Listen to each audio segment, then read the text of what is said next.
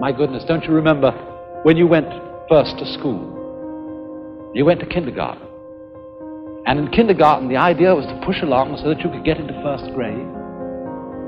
And then push along so that you could get into second grade, third grade, and so on, going up and up. And then you went to high school, and this was a great transition in life. And now the pressure is being put on. You must get ahead. You must go up the grades and finally be good enough to get to college. And then when you get to college, you're still going step by step, step by step, up to the great moment in which you're ready to go out into the world. And then when you get out into this famous world, comes the struggle for success in profession or business. And again, there seems to be a ladder before you, something for which you're reaching all the time. And then, suddenly, when you're about 40 or 45 years old in the middle of life, you wake up one day and say, Huh? I've arrived.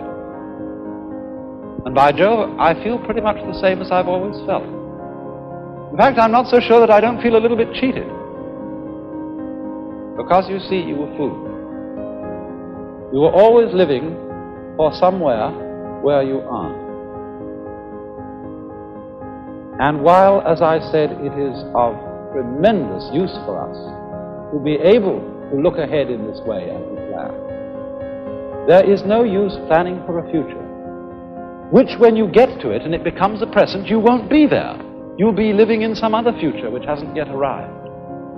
And so in this way, one is never able actually to inherit and enjoy the fruits of one's action.